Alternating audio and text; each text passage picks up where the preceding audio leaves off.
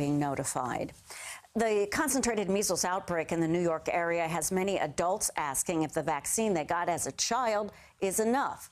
Do you need a booster? CBSN New York's Marc Liverman takes a closer look at the confusion and the risks from the Upper East Side of Manhattan.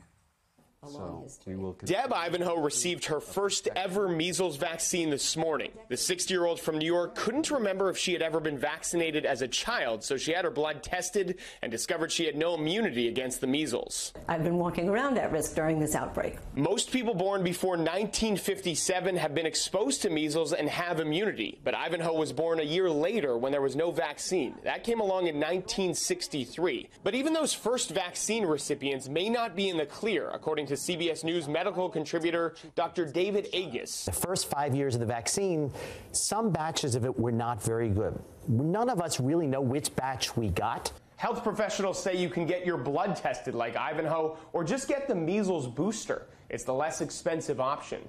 And there's another age group that might want to consider a measles booster.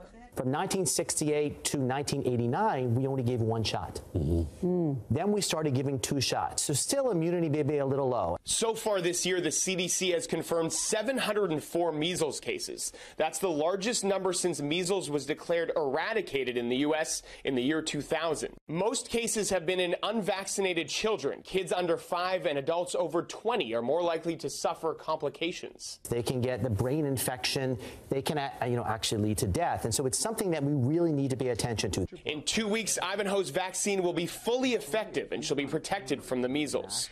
Marc Liverman, CBSN, New York.